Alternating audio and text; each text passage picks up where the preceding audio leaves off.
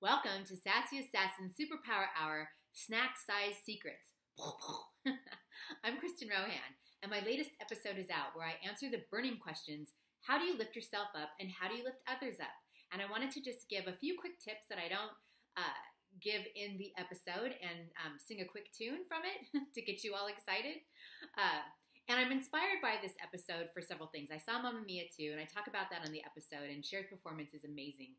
Uh, yet, another thing that really inspired me is I was at a wedding uh, in Australia this month. Yay, it was so beautiful. And, um, and I had to physically lift myself out of a situation.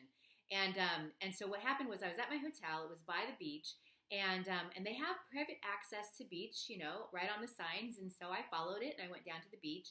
And then I thought, oh, I'll come back the same way and be, you know, really full of this the you know beautiful beach and, and salty inspiration. And um, and I undershot it and I and I didn't quite get to my hotel. So I uh, I thought, oh, I'll just walk on the train tracks, but the train tracks go through. It's like that's how everybody gets there. So it wasn't like I went out looking for danger. And I thought, oh, I'll go out to the street. And um, and the train started coming. And I, I was like, what are the odds of the train coming right now while I'm here? Well, 100% because this train started coming. And it was literally coming like this. It was like, I mean, it, I would walk faster, and I have short legs, so I don't walk that fast. But um, as the conductor went by, he said, you know, and I thought, oh, look, it's Professor Zoom, and um, telling me not to do this. But um, but it was fine, and I was fine, and I waved to everybody, and then I followed the train tracks out to the street, and um, but the gates were locked. So instead of going back the way I came, uh, I, I said, "Oh, look, there's a chain link fence, and it'll get me up to the platform. I could do this. I've I've climbed a fence before. How, how hard could it be? Okay, so it was hard, and um, but I gathered all my strength inside, and I just like believed I could do it. I think I can. I think I can. I know I can. I know I can. Right? A little train humor, and and I did it, and it was hard. But um, but I got up on that platform and I gave myself a little cheer, and I, and I felt invincible. And so, and, and that's part of what inspired this episode. So, other ways that I lift myself up when there's not a chain link fence around is that um, I use music and dancing. So, I added playlists to these episodes so that you can listen to other songs around this theme and, um, and maybe give yourself a lift and um, or have a, an impromptu dance party because uh, those really those really lift me up. Uh, I also take a walk on the beach. That's my happy place. Uh, but when I can't do that, every morning my alarm goes off and I snooze it once. And for those first nine minutes, I just think about all the things that I'm grateful for and excited for in the day. I'm grateful to be alive. I'm grateful for Professor Zoom, even if he doesn't want me to uh, climb chain link fences.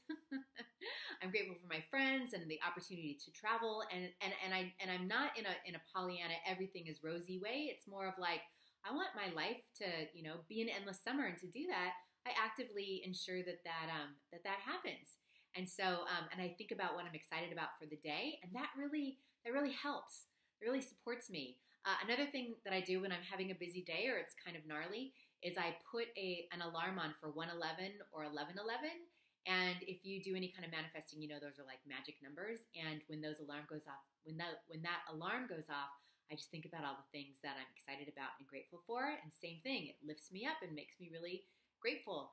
And um, I also, what I also do is I compliment other people. So if um, if I'm always on the lookout for um, inspiring people and inspiring things, and so I love to give compliments because not only does that lift me up because I'm finding something sparkly out there, but it lifts them up as well. And and who knows, maybe they pay it forward and they lift somebody else up.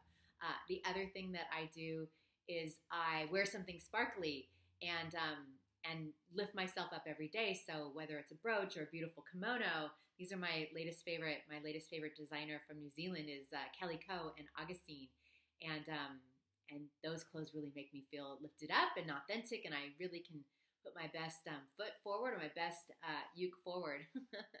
so how do you lift yourself up? I'd love to know. So before we leave, I want to just do a snippet of the song Super Trouper from um, ABBA and from Mamma Mia. Both movies, right? They did they did it twice to show you what a great song it is. All right, enjoy. I was sick and tired of everything when I called you last night from Glasgow. All I do is eat and sleep and sing, wishing every show was the last. So imagine I was glad to hear you're coming. Suddenly I felt alright. And it's gonna be so different when I'm on the stage tonight. Tonight the super trouper lights are gonna find me smiling like the sun. Smiling, having fun. Feeling like a number one. Tonight the super trouper beams are gonna blind me, but I won't feel blue like I always do. When somewhere in the crowd there's you. okay, the full episode is up on SoundCloud and on sassyassassin.com. Please let me know how you like it and um, and what lifts you up. So remember to always step into your superpower and live your party. Cheers.